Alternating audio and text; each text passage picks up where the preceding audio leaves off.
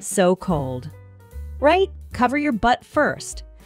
Since your tracksuit is made of synthetic material, it will burn easily, right? Stop. Why don't you wear it? I don't want to. This looks like a lame countryside high school girl's tracksuit. It isn't lame. It's fashionable. Just wear it. Even idiots catch colds. No, I'll get pregnant, as if you would